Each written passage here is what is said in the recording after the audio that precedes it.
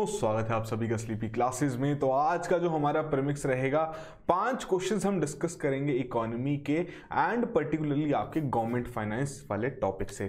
तो शुरुआत करते हैं आज के प्रेमिक्स की पहले क्वेश्चन के साथ, जहाँ पर बहुत ही सिंपल चीज़ आपसे पूछी गई है। बहुत बार आपने सुना भी होगा कि जो फंडिंग और इंप्लीमेंटेशन की जाती है गवर्नमेंट स्कीम्स उनसे रिलेटेड अब आपको यहाँ पर तीन स्टेटमेंट्स दी गई हैं। बताना है इनमें से कौन कौन सी स्टेटमेंट्स आपकी यहाँ पर करेक्ट हैं। ठीक है जी? तो ये आपको देख सकते हैं। पहली सीट में कह रहे हैं जो आपकी फाइनेंसिंग की जाती है सेंट्रली स्पॉन्सर्ड स्कीम्स की। वो बेसिकली जो आपकी केंद्रीय सरकार है और राज्य सरकार दोनों के बीच में शेयर की जाती है बट जो उसकी इंप्लीमेंटेशन है, वो वहाँ पर राज्य सरकार द्वारा ही की जाती है। सेकंड में कह रहे हैं जो आपकी सेंट्रल सेक्टर स्कीम्स हैं, वो they are completely finance by the central government but जो इनकी इंप्लीमेंटेशन है, वो आपकी स्टेट गवर्नमेंट करती है यहाँ पर। थर्ड में कह रहे हैं कि जो आपकी स्टेट सेक्टर स्कीम्स हैं, कि उनकी फाइनेंसिंग जो होती है स्टेट गवर्नमेंट द्वारा की जा सकती है। की जाती है और साथ के साथ वहाँ पर वो ग्रांट्स भी रिसीव कर सकते हैं केंद्रीय सरकार से और बेसिकली उसकी जो इंप्लीमेंटेशन है वो आपकी वहाँ पर राज्य सरकार ही करेगी। तो ये तीन स्टेटमेंट्स आपको दी गई हैं। बहुत बार ये जितने भी अगर आप स्कीम रिलेटेड क्वेश्चंस देखें तो वहाँ पर आपको उनकी कौन सी कैटेगरी की स्कीम है, इससे रिलेटेड क्वेश्चन पूछा सकता है, कौन उसकी इंप्लीमेंटेशन कर रहा है, उससे रिलेटेड क्वेश्चन पूछा सकता है। तो बेसिक कॉन्सेप्ट क्लियर होना बहुत ज़्यादा इंपॉर्टेंट है। तो करेक्ट ऑप्शन यहाँ पर मार्क कीजिए, फिर डिस्कस करते हैं इस क्वेश्चन को। तो देखिए, यहाँ पर सिर्फ़ और सिर्फ़ आपकी पहली स्टेटमेंट ही करेक्ट है कि बेसिक से अगर हम बात करें आपकी सेंटर सेक्टर स्कीम्स की इंप्लीमेंटेशन के बारे में जो बात की गई है कि आपकी स्टेट गवर्नमेंट यहाँ पर इंप्लीमेंटेशन करती है तो ये आपकी गलत है। बेसिकली यहाँ पर सेंट्रल गवर्नमेंट की एजेंसीज वहाँ पर उसे इंप्लीमेंट भी करती हैं। उसके अलावा जो आपकी स्टेट सेक्टर स्कीम्स हैं तो बेसिकली इसमें जो फाइनेंसिंग रहेगी स्टेट गवर्नमेंट द्वारा ही की जाएगी।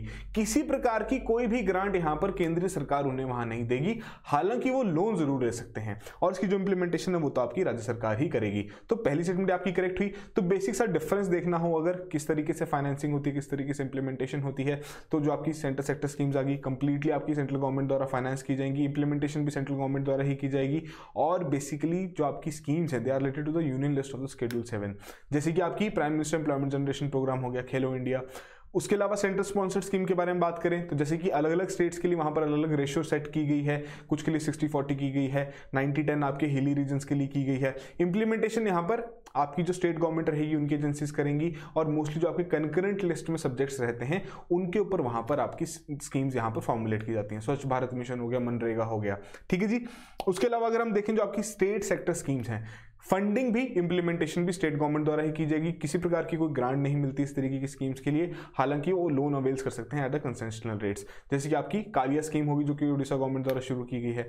तो ये बेसिक सा डिफरेंस हर एक स्कीम के बारे में पता होना बहुत ज़्यादा इंपॉर्टेंट है। उसी तरीके से आपकी core of the core schemes भी आती हैं। तो आप कमेंट बॉक्स में बताइए कितनी आपकी core of the core schemes हैं जो कि इंडिया में चल रही हैं। तो आई होप आपने करेक्टली मार्क किया हो इस क्वेश्चन को। अगले क्वेश्चन की ओर बढ़ते हैं। सेकंड क्वेश्चन पीएम गति शक्ति मास्टर प्लान अब इससे रिलेटेड आपको कुछ स्टेटमेंट दी गई हैं, आपको बताना है कौन सी स्टेटमेंट इसे करेक्टली यहाँ पर डिफाइन कर रही है। पहले में कह रहे हैं जो प्लान है an integrated project to improve the average speed of freight carriers of the Indian railway second में कह रहे हैं कि आपका ये 10 लाख करोड़ की एक स्कीम है, जिसके चलते होलिस्टिक इंफ्रास्ट्रक्चर डेवलप किया जाएगा कंट्री में। और थर्ड में कह रहे हैं ये जो प्लान है, आपका इनिशिएटिव है to develop dedicated lanes on national highways जिसके चलते आपके फ्रेट कैरियर्स वहाँ पर रन करेंगे और उनकी जो इंप्रूवमेंट आएगी उनके डिलीवरी टाइम में। तो ये तीन स्टेटमेंट्स आपको यहाँ पर दी गई हैं। अगर आपको लगता है इनमें से कोई भी करेक्टली डिफाइन नहीं करी तो डी ऑप्शन यहाँ पर आपकी करेक्ट ऑप्शन हो सकती है। बट स्टिल एक बार करंट अफेयर्स जो आपके हैं, उन्हें रिवाइज कीजिए करेक्ट ऑप्शन यहाँ पर मार्क कीजिए। फिर डिस्कस करते हैं इस क्वेश्चन को। तो देखिए, यहाँ पर करेक्टली जो डिफाइन कर रही है, वो है आपकी बी स्टेटमेंट की। यहाँ पर ये सौ हंड्रेड लाख करोड़ की स्कीम रखी गई है ताकि जो हमारी इंफ्रास्ट्रक्चर है हॉलिस्टिक इंफ्रास्ट्रक्चर की डेवलपमेंट की जा सके। पूर्ण रूप से यहाँ पर डेवलपमेंट की जा सके इंफ्रास्ट्रक्चर की। तो बेसिकली प्राइम मिनिस्टर द्वारा सेवेंटी फिफ्थ इंडिपेंडेंस डे के दौरान अनाउंस की गई थी। बेसिकली जिसमें हमने बात की कि आपकी डेवलपिंग की जाएगी किस चीज़ की? हॉलिस्टिक इंफ्रास्ट्रक्चर की। पूर्ण स्वरूप से, हर एक जगह से आपकी इंफ्रास्ट्रक्चर की डेवलपमेंट वहाँ पर हो सके। ठीक है जी? तो बेसिकली क्या करेगा ये? कि जो हमारी ग्लोबल प्रोफ़ाइल है लोकल मैन्युफैक्चरर्स की, उसे ये रेज करने में हेल्प करेगा। साथ के साथ जो उनके काउंटर पार्ट्स हैं, जो उनके कॉम्पिटेटिंग फ़ील्ड है, जो उनकी कॉम्पिटेटिंग बाकी एजेंसीज हैं, उनके साथ उन्हें कंपीट करने में हेल्प करेगा। साथ के साथ नई इकोनॉमिक जोन्स की भी यहाँ पर पॉसिबिलिटीज ये रेज करता है। ठीक है जी? और ये जो बेसिकली जो हमारा नेशनल इंफ्रास्ट्रक्चर पाइपलाइन है, उसी के आधार पर ये आपका प्लान यहाँ पर तैयार किया गया है। एनआईपी के बारे में डिस्कस कर लें। तो इंडिपेंडेंस डे 2019 के दौरान ये आपका अनाउंस किया गया था। एम्बिशियस प्रोजेक्ट है, जो कि आपका रोल्ड आउट पीरियड इसका कौन सा रखा गया है? 2019 से लेकर 2025 तक के लिए। ठीक है जी? तो ये आपके लिए एडिशनल इन्फॉर्मेशन यहाँ पर मेंशन की गई है। सिंपल सा क्वेश्चन था। स्कीम से रिलेटेड कोई भी अगर आपको प्रोजेक्ट से रिलेटेड क्वेश्चन पूछा जाता है कुछ कुछ चीज़ें हैं जो कि आपको ध्यान में रखनी है। शॉर्ट नोट्स की बात दोबारा से कर लेते हैं कि कोई भी अगर आपको स्कीम वहाँ पर पूछी जाती है तो किस तरीके से आप पढ़ सकते हैं कि पहली बात इंप्लीमेंटेशन किसके द्वारा की जा रही है? क्वेश्चन आपको उस तरीके से पूछा सकता है। लॉन्च किसके द्वारा की गई है? ठीक है जी। फिर बात आती है कि फीचर्स क्या क्या हैं? फिर उसके अलावा कि कवरेज क्या रहेगी? अब कुछ ऐसी आपकी स्कीम्स होती हैं, कुछ आपके पर्टिकुलर यूनियन टेरिटरीज या कुछ स्टेट्स में ही रहती हैं, कुछ की पैन इंडिया कवरेज होती है। उसके अलावा अगर हम देखें कि क्या बेसिक सा टाइम पीरियड है जिसके लिए वो आपकी स्कीम लॉन्च की गई है। तो ये बेसिक से इंपॉर्टेंट पॉइंट्स रहते हैं जो कि आपको हर एक स्कीम से रिलेटेड पता होने ज़रूरी है। हर एक स्कीम और प्रोजेक्ट से रिलेटेड ठीक है जी, अगले क्वेश्चन की ओर बढ़ते हैं थर्ड क्वेश्चन अब यहाँ पर आपको दोबारा से कुछ स्टेटमेंट दी गई हैं, आपको बताना है इनमें से कौन कौन सी स्टेटमेंट आपकी एक ऐसी है जो कि इनकरेक्ट है। पहले में क्या कह रहे हैं कि जो आपका एनुअल फाइनेंशियल स्टेटमेंट है एएफएस है, ये डॉक्यूमेंट किया जाता है बेसिकली किसके चलते? आर्टिकल 112 के चलते, जिसके चलते क्या करता है ये हमारी रिसिप्ट और एक्सपेंडिचर को वहाँ पर शो करता है भारत सरकार के। सेकंड में कह रहे हैं कि जो इंडिया में अगर हम बात करें डेफिसिट फाइनेंसिंग के बारे में तो बेसिकली ये जो टूल है, किस चीज़ के लिए यूज़ किया जाता है? For raising resources for adjusting the balance of payments और थर्ड में कह रहे हैं कि जो आपका इफ़ेक्टिव रेवेन्यू डेफिसिट है, कि बेसिक सी डेफिनेशन इसकी यहाँ पर दी गई है कि it is the difference between revenue deficit and grants for the creation of capital assets तो ये आपको तीन स्टेटमेंट दी गई हैं। अगर आपको लगता है इनमें से कोई भी इनकरेक्ट नहीं है तो डी ऑप्शन यहाँ पर आपकी करेक्ट ऑप्शन रहेगी। बट स्टिल थोड़ा बहुत एक बार सोच लीजिए, तीनों स्टेटमेंट को अच्छे से पढ़ लीजिए। करेक्ट ऑप्शन यहाँ पर मार्क कीजिए, फिर डिस्कस करते हैं इस क्वेश्चन को। तो देखिए, यहाँ पर जो पहली स्टेटमेंट बात हो रही है एनुअल फाइनेंशियल स्टेटमेंट के बारे में। बिल्कुल करेक्टली यहाँ पर बताया गया आर्टिकल जो हमारा 112 है, भारत के संविधान का उसके चलते वहाँ पर आपका डॉक्यूमेंट तैयार किया जाता है, जिसमें हमारी रिसिप्ट और एक्सपेंडिचर के बारे में बताया गया जाता है कि किस तरीके से जो भारत की सरकार है, वो वहाँ पर अपना खर्चा कर रही है। ठीक है जी? सेकेंड जो आपकी स्टेटमेंट है, वो यहाँ पर इनकरेक्ट है। किस तरीके से इनकरेक्ट है, अभी हम डिस्कस करेंगे। तो बी ऑप्शन यहाँ पर आपकी करेक्ट ऑप्शन हुई। तो बेसिक से अगर हम बात करें एफएस से शुरू करते हैं एनुअल फाइनेंशियल स्टेटमेंट के बारे में, जैसे कि हमने बात की बजट के दौरान आपकी ये पेश की जाती है। बजट का ही प्रोसेस रहता है। 112 आर्टिकल के तहत वहाँ पर आपसे पूछ लिया जा सकता है कि कौन से आर्टिकल के अंडर आपकी ये तैयार की जाती है। ठीक है जी? तो बेसिकली में इसमें आपकी रिसिप्ट रहती हैं एक्सपेंडिचर रहती हैं, जो कि सरकार द्वारा किसी एक करंट ईयर में वहाँ पर खर्च किया गया है प्रीवियस ईयर और जो बजट ईयर है। तीन सेपरेट पार्ट्स में यहाँ पर तैयार की जाती है। जैसे consolidated fund of India contingency fund of India and public account of India ठीक है जी? तो बेसिकली यहाँ पर क्या रहता है कि जो पूरी सरकार बेसिकली जो आपकी स्टेटमेंट ऑफ़ रिसिप्ट और एक्सपेंडिचर यहाँ पर तैयार करती है तो ये आपके हर साल पार्लियामेंट में पेश की जाती है बजट के दौरान। उसके अलावा आती है आपकी बात डेफिसिट फाइनेंसिंग के बारे में। तो ये एक सिचुएशन है बेसिकली जहाँ पर आपका एक्सेस ऑफ़ एक्सपेंडिचर होता है रेवेन्यू कि। इतना पैसा कमाया नहीं है, खर्चा ज़्यादा हो रहा है। तो बेसिकली वहाँ पर ये जो गैप है, इसे बिल्ड करने के लिए, इसे गैप को क्लोज करने के लिए, वहाँ पर सरकार क्या करती है? बोरो करती है पैसा पब्लिक से by the sale of bonds and creating new money तो ये काफ़ी कॉमन मेथड यहाँ पर यूज़ किया जाता है डेवलपिंग नेशंस द्वारा, ताकि हायर इकोनॉमिक ग्रोथ वहाँ पर अचीव की जा सके। एक तरीके से आर्टिफिशियल मेथड है कि वहाँ पर खर्चा ज़्यादा है, आमदनी कम है तो एक तरीके से नई करेंसी वहाँ पर प्रिंट करके या बॉन्ड्स की सेल करके आर्टिफिशियली यहाँ पर आपकी इकोनॉमिक ग्रोथ बढ़ाने की कोशिश की जाती है। ठीक है जी? तो मोस्टली आपके डेवलपिंग नेशंस में जो डेफिसिट फाइनेंसिंग है, ये टूल इस तरीके से वहाँ यूज़ किया जाता है। फिर बात आती है इफ़ेक्टिव रेवेन्यू डेफिसिट के बारे में तो बेसिकली ये आपका क्या रहता है? Difference between the revenue deficit और जो आपके ग्रांट्स है for the creation of capital assets suggest की गई थी किसके द्वारा? Rangarajan committee on public expenditure द्वारा। बेसिकली किस चीज़ पर एम रखती है to deduct the money use out of borrowing to finance capital expenditure ज़्यादा ज़्यादा एसेट्स वहाँ पर डेवलप किए जा सकें। तो ये कुछ कुछ इंपॉर्टेंट चीज़ें हैं इंपॉर्टेंट कॉन्सेप्ट हैं, जिनके बारे में आपको पता होना ज़रूरी है। ठीक है जी? खासकर जो आपका ये वाला पर्टिकुलर स्टेटमेंट है, ये आपको ऑलरेडी पीवाईक्यू का एक स्टेटमेंट है। आपको आई थिंक ये 2000 तेरह में या उससे पहले भी हो सकता है I am not sure about the year तो मैं यहाँ पर नहीं मेंशन करूँगा। बट आपका प्रीवियस ईयर क्वेश्चन में ही इस तरीके से पूछा गया था जो आपकी डेफिसिट फाइनेंसिंग है इंडिया में किस तरीके से यूज़ की जाती है। चार ऑप्शन आपको वहाँ पर दी गई थी। ठीक है जी तो सिंपल सा क्वेश्चन था। अगले क्वेश्चन की ओर बढ़ते हैं। Fourth question fifteenth finance commission report के बारे में बात हो रही है। बहुत बार हम इसे डिस्कस कर चुके हैं। तो ये तो क्वेश्चन आपके लिए इजी है। रिवीजन की तरीके से हम यहाँ पर देखेंगे। तो तीन स्टेटमेंट्स आपको दी गई हैं। बताना है इनमें से कौन कौन स्टेटमेंट्स आपकी यहाँ पर करेक्ट हैं। चार कोड्स आपको यहाँ पर प्रोवाइड किए गए हैं। पहली स्टेटमेंट में कह रहे हैं कि जो कमीशन है, उनकी जो रिकमेंडेशन है बेसिकली दो हज़ार एक का जो सेंसस का डेटा है, उसको मद्देनजर रखते हुए उन्होंने रिकमेंडेशन वहाँ पर रखी है। सेकेंड में क्या कह रहे हैं? जो कमीशन है, इन्होंने यहाँ पर रिकमेंडेशन दी है छह साल के पीरियड के लिए। और उसके बाद क्या कह रहे हैं थर्ड में कि जो कमीशन है, उन्होंने क्या रिकमेंड किया है कि एक थ्रेशोल्ड टाइमलाइन फिक्स करनी ज़रूरी है किसके लिए? सेंट्रली स्पॉन्सर्ड स्कीम्स के लिए आफ्टर विच जो वो स्कीम्स रहेंगी, उन्हें वहाँ पर फ़ेज़ आउट कर दिया जाएगा। मतलब उन्हें वहाँ पर खत्म कर दिया जाएगा। तो ये तीन स्टेटमेंट्स आपको दी गई है फिफ्टींथ फाइनेंस कमीशन से रिलेटेड थोड़ा सोचिए। करेक्ट ऑप्शन यहाँ पर मार्क कीजिए, फिर डिस्कस करते हैं इस क्वेश्चन को। तो देखिए फिफ्टीन फाइनेंस कमीशन की जो रिपोर्ट है, खास बात क्या क्या चीज़ें हैं?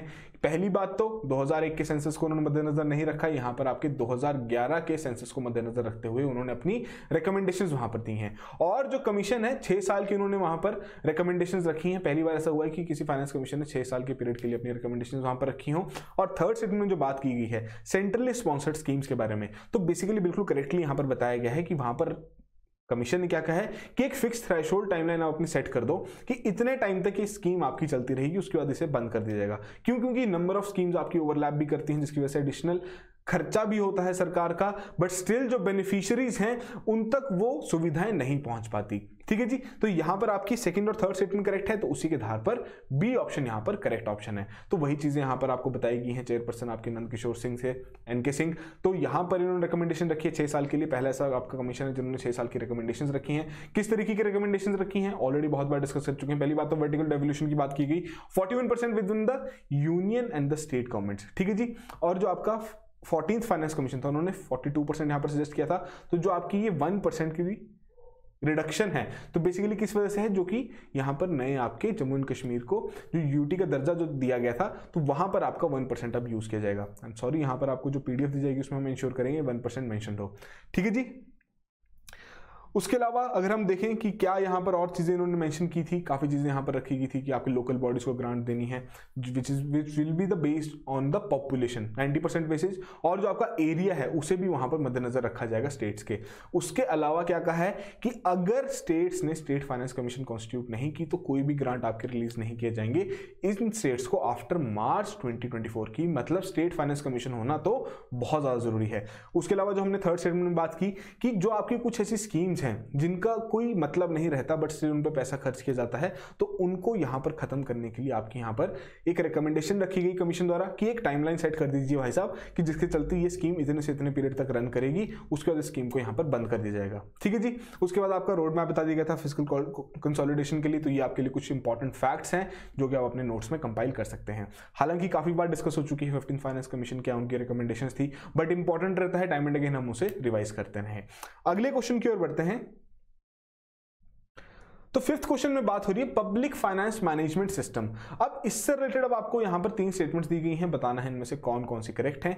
चार कोड्स आपको यहाँ पर प्रोवाइड किए गए हैं। पहले में क्या कह रहे हैं कि ये जो आपका पीएफएमएस है, एक फंड ट्रैकिंग सिस्टम यहाँ पर तैयार किया गया है ताकि जो आपकी सेंट्रल सेक्टर स्कीम्स हैं, उन्हीं के लिए कि उनकी इफ़ेक्टिव इंप्लीमेंटेशन यहाँ पर की जा सके। सेकेंड में कह रहे हैं कि आपका बेसिकली इसका जो it has an interface with the country's banking network of various public and private sector banks और थर्ड में क्या कह रहे हैं कि बेसिकली आपका ये प्रोवाइड करता है only the facility to track the flow of funds ठीक है जी? इसमें कोई आपकी पेमेंट या फंड ट्रांसफर्स की फैसिलिटी यहाँ पर नहीं रखी गई है। तो ये तीन स्टेटमेंट्स आपको दी गई हैं इस पर्टिकुलर सिस्टम से रिलेटेड थोड़ा सोचिए करेक्ट ऑप्शन यहाँ पर मांग कीजिए, फिर डिस्कस करते हैं इस क्वेश्चन को। तो देखिए, बहुत ही सिंपल सा कॉन्सेप्ट है स्टार्टिंग नेचर का आपका ये क्वेश्चन है। तो यहाँ पर आपकी सिर्फ़ और सिर्फ़ सेकंड स्टेटमेंट ही करेक्ट है। डिस्कस कर लेते हैं कि पहली बात तो आती है आपकी पब्लिक फाइनेंस मैनेजमेंट सिस्टम के बारे में कि web based online software application यहाँ तैयार की गई है। किसके द्वारा? सीजीए द्वारा कंट्रोलर जनरल ऑफ़ अकाउंट्स जो कि आपके department of expenditure ministry of finance के अंडर आते हैं। तो 2009 से आपकी शुरू होगी थी। ऑब्जेक्टिव क्या था? कि ट्रैक करेंगे फंड्स को, जो कि आपके सभी प्लान्स के आधार पर वहाँ पर रिलीज़ की जाएगी। बट ये आपके सेंट्रल सेक्टर और सेंट्रली स्पॉन्सर्ड स्कीम्स इन दोनों स्कीम्स को यहाँ पर ट्रैक करता है। As well as the expenditure including the finance commission grants इन सभी चीज़ों को यहाँ पर ट्रैक किया जाता है इस सिस्टम द्वारा। ठीक है जी? सिर्फ़ और सिर्फ़ आपका ये सेंट्रली सेक्टर स्कीम्स तक ही लिमिटेड नहीं है। उसके अलावा कि बेसिकली यहाँ पर आपकी पेमेंट भी की जाती है अकाउंटिंग भी की जाती है, एक चैनल यहाँ पर जो तैयार किया गया है रिपोर्टिंग भी की जा सकती है, जो डायरेक्ट बेनिफिट ट्रांसफ़र ये जो बेसिकली यहाँ पर मैकेनिज्म तैयार किया गया है सरकार द्वारा कि जो बेनिफिशियरीज हैं स्कीम के, उनको डायरेक्टली उनके खाते तक पैसा मिले। तो उसके लिए क्या किया है कि जो हमारा कोर बैंकिंग सिस्टम है, ठीक है जी, उसके साथ इसका लिंकअप कर दिया गया है ऑफ़ ओवर थ्री बैंक जिसमें आपके पब्लिक सेक्टर बैंक आ गए, सभी रीजनल रूरल बैंक आ जाते हैं प्राइवेट सेक्टर बैंक आ जाते हैं रिज़र्व बैंक ऑफ़ इंडिया आ गए इंडिया पोस्ट कॉपरेटिव मतलब सभी को यहाँ पर इंटीग्रेट करते हुए पीएफएमएस के साथ वहाँ पर कनेक्ट कर दिया गया है ताकि अच्छे से इंप्लीमेंटेशन हो सके। तो ये थे हमारे आज के पाँच क्वेश्चन जिसमें कि हमने थोड़े बहुत आपके गवर्नमेंट फाइनेंस से रिलेटेड चीज़ें डिस्कस की हैं। अब जो गवर्नमेंट फाइनेंस है बेसिक जो सबसे इंपॉर्टेंट कंपोनेंट इसका कब आएगा? जब आपका इको सर्वे और बजट आएगा। ठीक है जी? तो वहाँ से जब हम क्वेश्चन डिस्कस करेंगे तो वो भी आपके गवर्नमेंट फाइनेंस से ही रहेंगे। तो तब हम इसे एक बार दोबारा से एटलीस्ट टेन क्वेश्चन तो हम इन पर्टिकुलर सेगमेंट से ज़रूर डिस्कस करेंगे, जब आपका नेक्स्ट ईयर यहाँ पर बजट और इको सर्वे रिलीज़ किया जाएगा। ठीक है जी? तो आज के पाँच क्वेश्चन जो भी आपका स्कोर रहा है कमेंट बॉक्स में ज़रूर मैंशन कीजिए। अगर आप काफ़ी स्टैटिक नेचर के क्वेश्चन भी हमने यहाँ पर डिस्कस किए हैं, अगर आपको लगता है कि कहीं कोई कमी रह गई है तो ज़रूर उन चीज़ों को अपने नोट्स में कंपाइल कीजिए, जो कि आपने यहाँ पर मिस कर दी हो। उसके अलावा जो हमारी प्ले है, उसका लिंक आपको डिस्क्रिप्शन में मिल जाएगा जिसके चलते आप इजीली जितनी चीज़ें हम अभी तक कवर कर चुके हैं जितने टॉपिक्स हम अभी तक कवर कर चुके हैं जिनसे रिलेटेड क्वेश्चन ऑलरेडी हम डिस्कस कर चुके हैं तो उनको जाके आप दोबारा एक बार देख सकते हैं। ठीक है जी? सो so, कल अगर हम बात करें एनवायरमेंट का दिन है तो पिछले हफ़्ते हमने इंडियन बायोडाइवर्सिटी से रिलेटेड कुछ क्वेश्चन वहाँ पर डिस्कस किए हैं। बट सिंस आपकी जो इंडियन बायोडाइवर्सिटी है काफ़ी वास्ट है, काफ़ी सारे टॉपिक्स यहाँ से बनते हैं तो एक और सेशन कल हम पर्टिकुलरली कोशिश करेंगे स्पीसीज से रिलेटेड ही डिस्कस करेंगे, क्योंकि उसी तरीके के क्वेश्चन आपके यूपीएससी में पूछे भी जाते हैं। ठीक है जी? तो एक बार अच्छे से रिवाइज करके आइएगा, ताकि आप अच्छे से यहाँ पर अटेम्प्ट कर सकें। So that will be all all the very best and have a good night